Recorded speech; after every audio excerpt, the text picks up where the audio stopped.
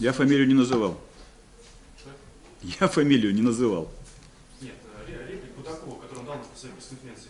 Георгий назвал. А. Хорошо.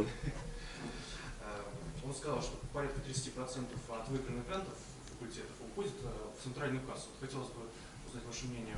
Не хотите ли менять эту систему распределения грантов? И вообще, куда уходят деньги? Пункт О того тех самых правил внутреннего распорядка. На самом деле, грант, э, если наши преподаватели получают гранты, значит, у нас мы берем на накладные расходы 15%. Это максимум.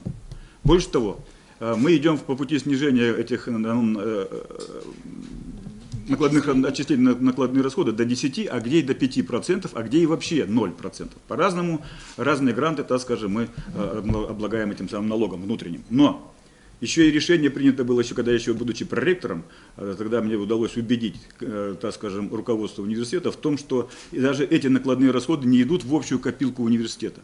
Они идут как реинвестиция в развитие научных направлений и поддержку научных школ. То есть мы на самом деле используем их, и до сих пор эта система работает, для того, чтобы помочь подняться в науке молодым ученым, либо поддержать те коллективы, которые сегодня уже сложились, и нам, им необходимо там приобретение оборудования, например. То есть, вообще-то говоря, откуда это 30% взялись, я не знаю. И, к- и как они расходуются, я вам объяснил. А вот еще второе его предложение, вот э, вести, ну, как бы усилить автоном- автономизацию факультетов, избирать, ш- чтобы сами факультеты избирали деканов, вот что вы по этому? Что вы думаете? Факультеты, по-моему, так сами избирают. Ну, как научный совет и- А Вопросы автономизации, они не такие простые. Одно дело декларации об этом, а другое дело подумать, что за этим стоит.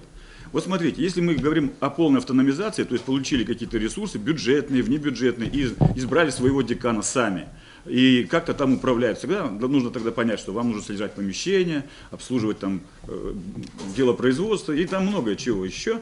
И самое главное, что ни один факультет в этом случае какие-то серьезные накопления для того, чтобы приобрести серьезное дорогостоящее оборудование или провести какой-то хороший, нормальный капитальный ремонт в кор- кор- кор- корпусе, в котором находится факультет, или построить, тем более нечто, бассейн или спортивный или комплекс, не в состоянии.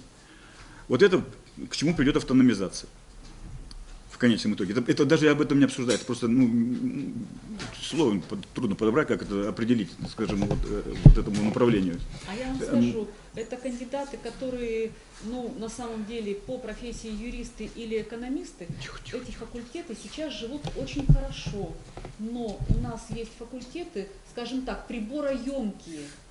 То есть э, те, кому для исследований, для научных нужны приборы в большом количестве и дорогостоящие. Поэтому вот... э, Я по-другому бы сказал. Вот смотрите, вот если есть университет как единое целое, без автономизации, если уж этот термин сейчас пошел в обиход у нас с вами в разговоре, то тогда, казалось бы, правильно. Конечно, факультеты должны иметь какие-то ресурсы для реализации своих не, не- не корпоративного характера направлений деятельности. Да, у каждого есть своя специфика.